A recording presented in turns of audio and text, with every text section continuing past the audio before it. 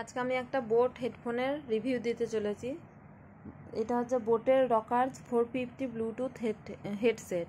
এটা মানে ব্লুটুথের মাধ্যমে কানেক্ট করা যাবে কোনো রকম কর্ড ছাড়া। এর দাম এটা আমি ফ্লিপকার্টে অর্ডার করে নিয়েছি। এর দাম হচ্ছে চোদ্দোশো নিরানব্বই টাকা। আর এটা হচ্ছে এরকম একটা ইউএসবি কর্ড আছে। আর তার ফোনের সঙ্গে কানেক্ট যদি কেউ করতে চায়, সে তার জন্য একটা কর্ড কর্ড আছে এতে, এর মধ্যে। আর এটা এরকম একটা হচ্ছে প্যাকেটের মাধ্যমে এসছে।